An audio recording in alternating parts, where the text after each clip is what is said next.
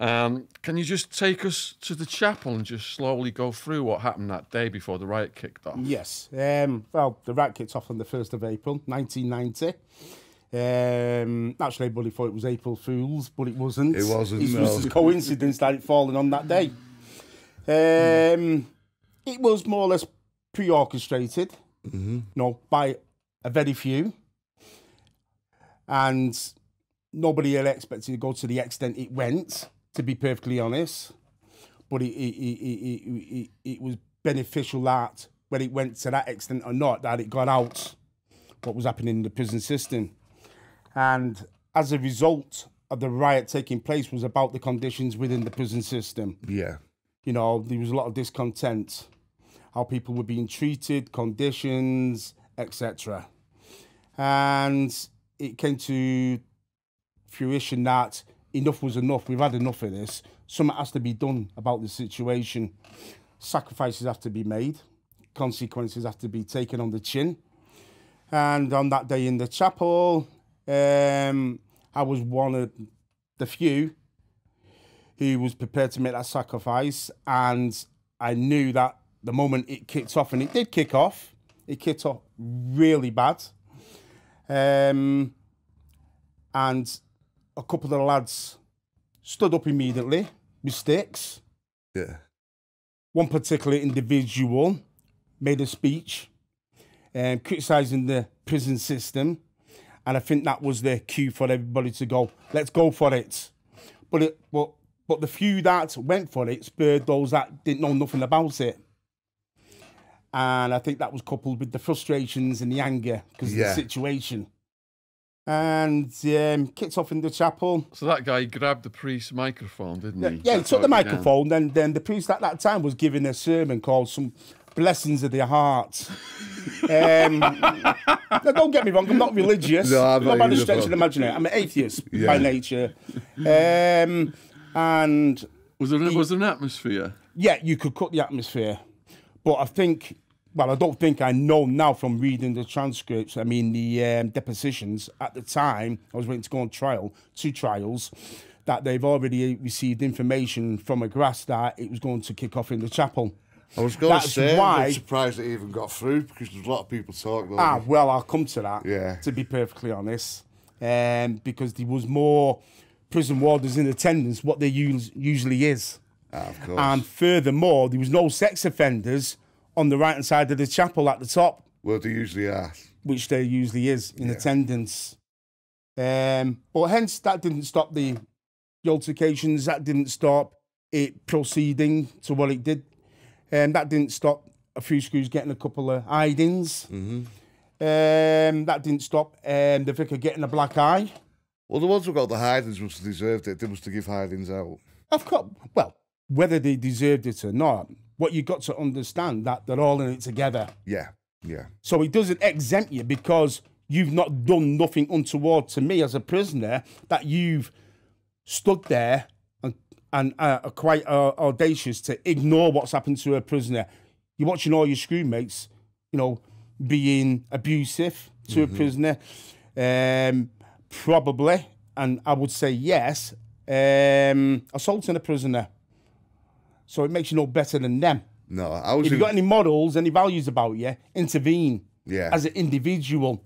stand up and say the- something. Yeah, stand up and be a man. yeah. Go against the odds. I was But- in Walton in '92, and um, I seen the Mufti squad there going on people, and they was not they were ruthless, really, like smashing their heads against the wall and everything. Disgusting behaviour. It is. Disgusting behaviour. Dragging which- them down the metal stairs, you know. It's just like just heads banging on the stairs like that, and they're dragging them to the hole. It's wrong. It's just wrong. Yeah, it, it's wrong, but unfortunately, because they find, they signed the um, official Secrets Act, you know, gives them immunity for any form, any form of prosecution. That's exactly what it does. Yeah. and that's wrong because he's giving them a ticket. Do what you want with prisoners. They'd roll you up with mattresses and kick the shit out of you, so you don't actually bruise from the outside. Yes. Because Yes. prior to the riot, you'd ex, uh, um, experienced extreme violence and extreme racism on yourself from the guards. Absolutely. I mean, from the onset, I went into the prison system. Don't get me wrong, I didn't enter the prison system with the intent of being violent, gratuitous, violent, that that wasn't my intention. It, it, it didn't even enter my conscience. You know, I went in there on remand because I committed a crime, but as a result of their already set behaviour, bully boy tactics, intimidation tactics, exploitation tactics, which they carry, they thought they could portray this, these three things on myself. And you're not one to sit down and take it. No, don't get me wrong. I was a young lad. I, I wasn't. I wasn't expecting that, to be honest. Yeah, yeah. No, I'll be honest. Um, and I was segregated from my co-accused, um, placed down the segregation units. Now, let me explain something about the segregation unit that had their own psychological rule outside the rule box, and it was this: don't walk across the main floor. Walk adjacent to the wall on the two tiles. Um, I wasn't aware that there was my co-accused Kane. Um, and as we were walking across the floor, a couple of the prison warders became very abusive, derogatory, racist, in other words. Yeah. And I know it sounds hypothetical what I'm going to say, but I don't think it was directed at myself or Kane. But obviously it was. Kane was placed in a cell. I was marched further down the corridor. And just as I was entering the cell, a screw came behind me, punched me in the back of the head, and said, You murdering black, black, black bastard. And just slammed the door.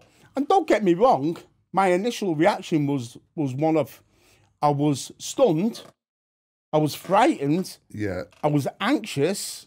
I was only a young lad myself. Later on, you got years angry. of 19 years of age, Yeah.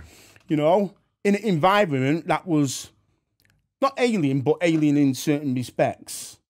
And Scary, innit? it was scaring. And it, it, it was the un, unknown, what was going to happen once that door opened, what's going to transpire. But something inside me said to me, I'm not prepared to put up with this. I'm not. Even though I have the negative feelings, even though I was frightened, etc., I said, no, I'm coming out fighting. And if this is the way it's going to be, so be it. And when that door opened, I was outnumbered, but I came out fighting. And from that point on, it spiraled out of control for the next 13, 14 years. So going back to the chapel then, microphone's been grabbed, there was a mood on the yard, the sex offenders aren't there, and now what are the prisoners doing? You said they picked the sticks and balaclavas, is it next? Yeah, yeah, there was balaclavas put on, there was sticks drawn, Yeah. you know. Um, there was warders being booted, punched, you know. Um, there was um, basically the chapel was being demolished, to put it in a finer term. Now everyone was there. Would they? Would they all gain for it? Like, oh, people there just because they sort of got roped in. I, I would say they got roped in. Yeah. Some knew, some didn't know. But you got to realise on the whole, collectively, a lot of prisoners carry a lot of frustrations, anger, and bitterness because of the confinement, you know, um, because of the resentment how they're being treated. So this was a golden opportunity to vent it without no repercussions at that moment. And not seeing the loved ones and day jobs. All that and- comes into play. I mean, Yeah. the, the, the, the virtual imprisonment it, it carries a lot of how can I put it constraints, you know, and the fact that you can't see your family, as you rightfully say, you can't do what you want to do. You're confined. It carries a heavy, heavy, heavy, heavy, heavy burden on that person, and it doesn't distract from the fact that equally so, their next of kins are carrying that burden and all. Yeah, because it's not just you doing your time; it's the family. But you don't realise that, do you? Um, I think they do realise that, but some people are, are, are, are sublime to it. Yeah, yeah. You know, they sort of like, I mean, personally, myself, myself, I've learned to switch off my emotions when I was in prison. I turned animalistic. You go prison mode. Yes. Yeah. You know, um, but that was my choice, and no doubt there's other prisoners who do similar or less. But it's one way of coping with the situation. I'd make sure I'd never have a girlfriend when I was getting sent down. I'd make sure I'd have. I wouldn't be going through that. Oh, is she joining me? What's she doing and all that? Because I mean, you can sit in your bunk and You drive yourself your mad. head. You go, oh yeah, You drive yourself mad. But that's that person's fault, the individual. Yes. He's insecure. Yeah, exactly. I can't blame I can't blame the girlfriends and the wives. No, You know, they didn't put you in that situation. You put yourself in that situation. Exactly. So you got to cope with it the best way you can, and you got to be prepared for the consequences. Because you know it's got to come. Of course, Yeah. yes. You know, So they pick the sticks up, Bally's on, guards are shitting themselves, they're getting out of there. How does it get from the chapel to the roof? um, how it got to that situation because at that time they were doing reconstruction in the central rotunda. So from the floor to the top of the rotunda, which was 80 feet, Yeah. there was scaffolding all the way around. Right. They made it So- nice and handy for you, didn't? So precisely. Might as well give you a ladder. um, people presume that a week prior to that, two lads already got on the roof. You know, and that was um, that preempted the main riot. yeah. But that had nothing to do with it. They just doing their own demonstration. But equally so, if these two can get up, anybody else can get up. Give you food for thought. Of course.